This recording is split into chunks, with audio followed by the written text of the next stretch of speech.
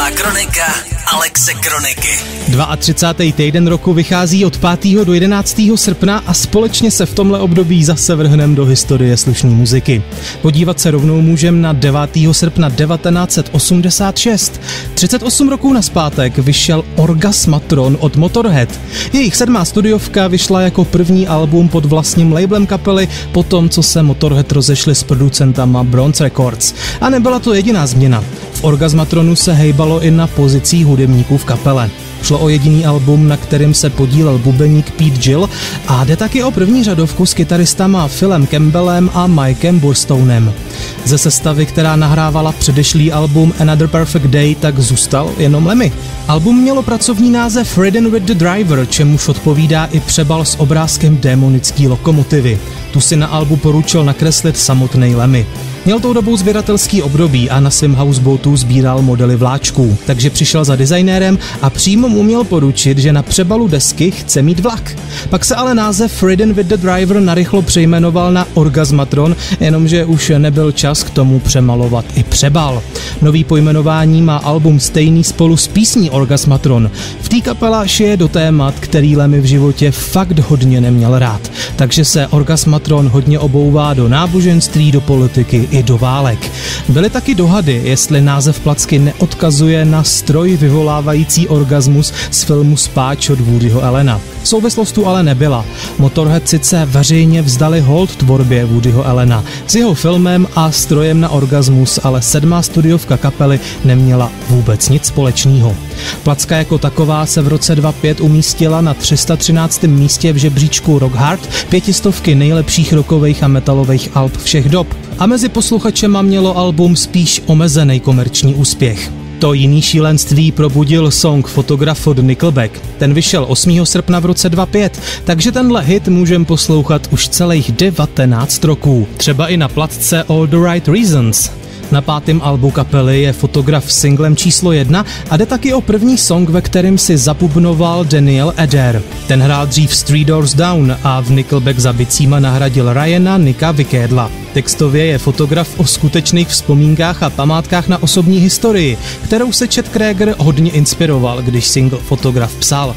V písni zpívá o životě v kanadském městečku Hanna, což je rodný město Cheda Kragera a taky kolíbka kapely Nickelback. Takže si v songu poslechneme, jaký měl Chet dětství, jak se prvně zamiloval a taky, že se půl tucetkrát vloupal do své školy. Na to se opak ptali i novináři, jestli je to skutečně pravda a Chet tady pobavil, protože přiznal, že bylo obviněný hned jedenáctkrát za rozbití dveří a násilný vniknutí do školy. Jenomže tenhle počet, jedenáct, se mu do rýmu nehodil tak jako půl tucet, takže si ty svoje vloupání stáhnul jenom na šest. Hmm, i tak ale slušný skóre. V rodišti kapely byl natočený taky klip k písni.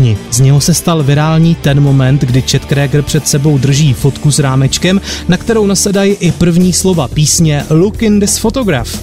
Fotka se stala internetovým memem a v rámečku, který Chet zvedá před oči divákovi, se potom díky photoshopovým úpravám objevovalo lecos. Na původním snímku je ale ve fotce zobrazený přímo Chet a to s producentem Joey Mojem, tak jak slavili Silvestra.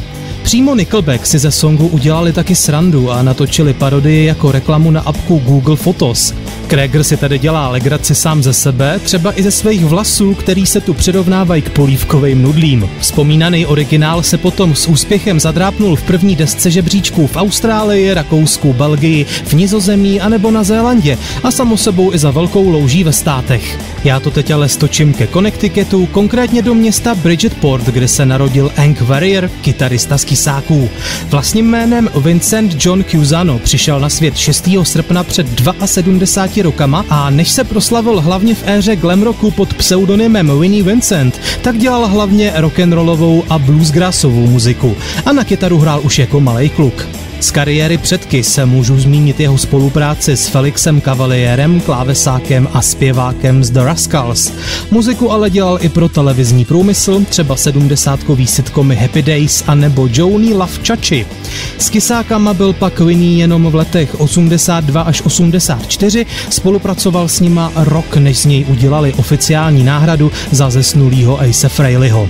Winnieho kytaru můžeme slyšet konkrétně na albech Creature of the Night a Lick It Up. Druhá ze vzpomínaných placek byla přitom pro kapelu přelomová. Šlo totiž o první album, kde se kysáci představili bez make-upu.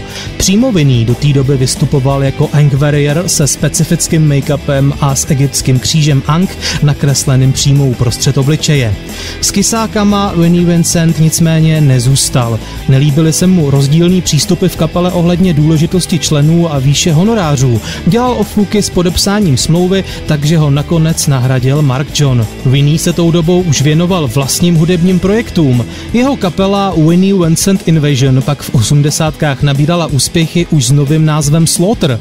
A mimo Slaughter spolupracoval Winnie Vincent třeba ještě s kapelou Laury Nery, s bandem Dana Harmana nebo se skupinou Flasher. A i když se s kysákama nerozešel úplně v dobrým, znova se ke kapele připojil na albu Revenge, to bylo v 92.